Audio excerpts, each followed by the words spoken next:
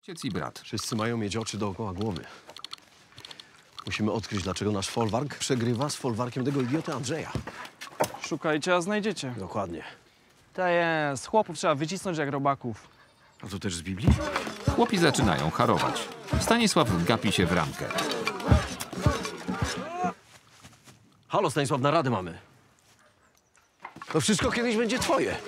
A ty cały dzień w tym obrazku siedzisz. Dobra, tato. Odłóż ten obrazek.